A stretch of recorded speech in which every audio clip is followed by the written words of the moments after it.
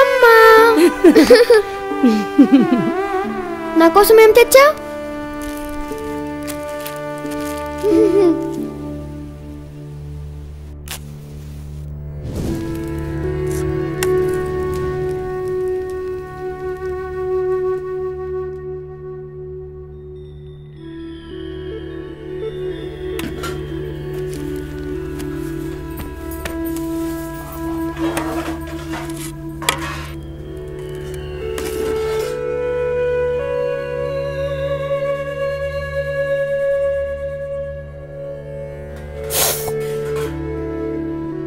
ఏమైందయ్యా?